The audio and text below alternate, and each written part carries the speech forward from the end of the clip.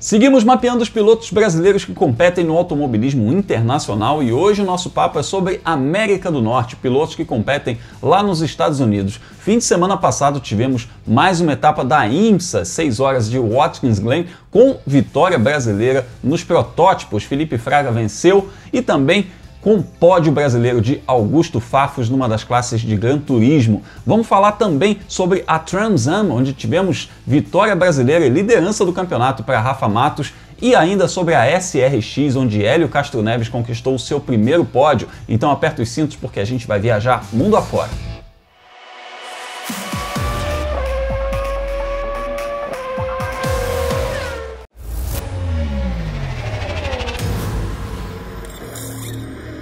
Nossa viagem mundo afora começa lá em Watkins Glen, uma clássica pista dos Estados Unidos, para falar sobre as 6 horas de Watkins Glen, uma das etapas da IMSA. Se lá nos protótipos da classe DPI, a classe principal, o Pipo Derani e o Felipe Nasser não tiveram tanta sorte, não foram ao pódio nos protótipos da classe LMP3 do Brasil. Felipe Fraga venceu mais uma. Ele competiu ao lado do Scott Andrews e do Gare Robinson e venceu aí pela segunda vez. Segunda corrida dele, segunda vitória dele em protótipos, né? O outro foi lá em Sebring. Agora, o Felipe Fraga não está disputando esse campeonato porque ele perdeu as primeiras etapas, então ele não está na briga pelo título, infelizmente. Mas já mostrou que sabe andar de qualquer coisa e isso é o mais importante. E além da vitória do Felipe Fraga na classe LMP3, a gente teve pódio brasileiro na classe GTLM com Augusto Farfus. Eu lembro que o Augusto Farfus venceu duas edições das 24 horas de Daytona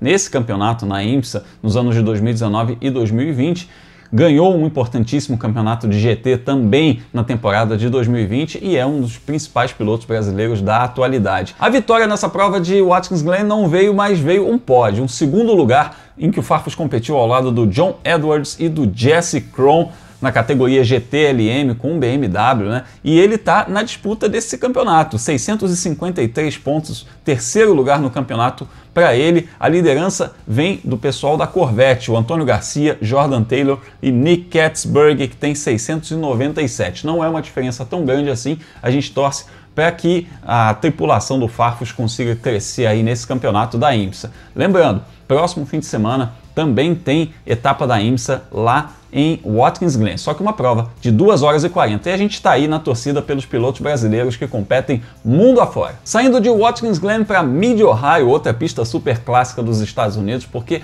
rolou mais uma etapa da Trans Am, um campeonato que é de muscle cars, aqueles carros super potentes, aqueles motores V8, em que a gente tem um piloto brasileiro nos representando, o Rafa Matos, que teve passagens pela Fórmula Indy, pela Stock Car também, ganhou campeonatos do Road to Indy, e o Rafa atualmente se destaca aí nesse campeonato na Trans Am e ele está inclusive na liderança do campeonato, porque ele venceu essa prova de Mid Ohio, liderou a prova inteira largando da pole position e agora ele é o líder do campeonato com 147 pontos, já abriu uma vantagem considerável para o Mike Skin, que vem na segunda posição com 112 e para o Thomas Merrill, que tem 107. A próxima etapa também é nesse fim de semana, só que em Road America, e a gente está na torcida para o Rafa Matos ampliar essa liderança. E quem também corre no próximo fim de semana é a SRX, um campeonato criado pelo Tony Stewart com carros de estilo NASCAR e que está fazendo um tremendo sucesso lá nos Estados Unidos. Já é sucesso na televisão, sucesso de público, sucesso nas redes sociais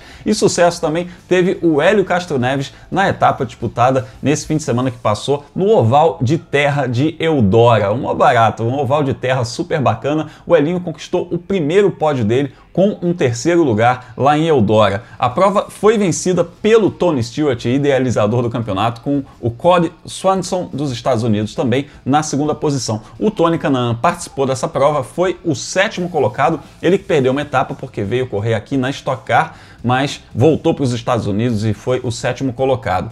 Também nesse fim de semana no Lucas Oil Raceway, que é um ovalzinho que fica dentro do complexo de Indianápolis, tem mais uma prova da SRX. E você já sabe, para ficar por dentro de tudo que acontece com os pilotos brasileiros que competem mundo afora, se liga no nosso podcast Mundo Afora, semanalmente lá no feed do site F1 Mania, comigo, com Leonardo Masson e com Felipe Giacomelli. E fica ligado aqui no canal Fórmula 1 para saber tudo o que se passa com os brasileiros que competem mundo afora. Um forte abraço e até a próxima!